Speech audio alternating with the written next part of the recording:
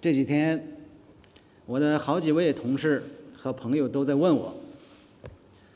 彭博社这个报告是不是印错了？他们还问，在他们心中，一向权威的彭博社，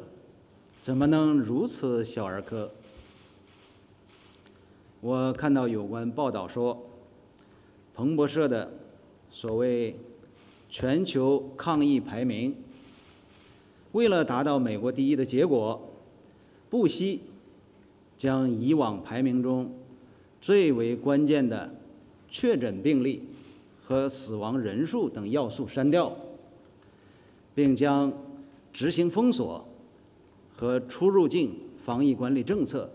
视为负面因素，这既不符合事实，也不尊重科学，更不尊重生命。中国人常说，老百姓心中有杆秤，群众的眼睛是雪亮的。所谓的排名和民调结果，把黑的说成白的，白的说成黑的，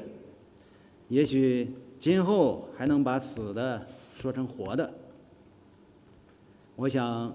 世界民众只能表示呵呵了，姑且把它当做茶余饭后的谈资吧。